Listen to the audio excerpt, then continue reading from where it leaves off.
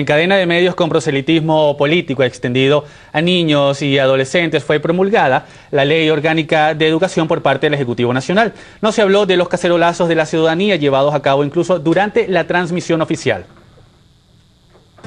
Hay que salir adelante con este proceso educativo para que nuestros niños sepan de dónde venimos, dónde estamos y hacia dónde vamos que agarren la cuestión, pues de que agarren el camino como es En esta ley retomamos la unión que debe existir entre el estudiante, no alumno, porque nosotros no somos discípulos de un profesor, y mucho menos maquinitas repetitivas. Nosotros somos seres capaces de generar muchísimo. Para que vean, no es una imposición, por el contrario, era una inmensa necesidad que tenía nuestro pueblo. Una ley que se adecuara al momento histórico en el que vivimos y con los vientos de revolución que retumban en toda América. Patria, socialismo o muerte. Porque yo desde los ocho años estoy en la política. ¿Y quién dice, quién dice que un estudiante de ocho años no puede?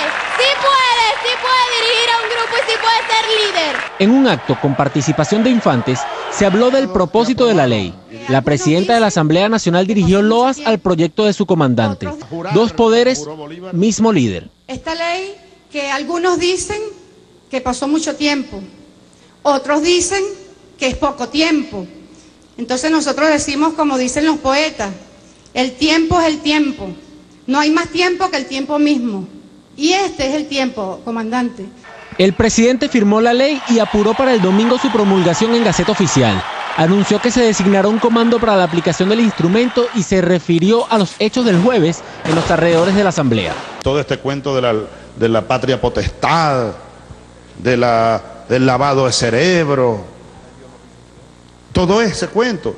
Ellos inventan una ley que no existió nunca y a eso es que atacan para tratar de levantar una protesta violenta. Allí hubo un hecho muy lamentable. Antier fue, de violencia, de violencia, aquí mismo en el centro de Caracas, la avenida Urdaneta y unos periodistas o trabajadores de un medio de comunicación, creo que fracturados. No hay razón para eso.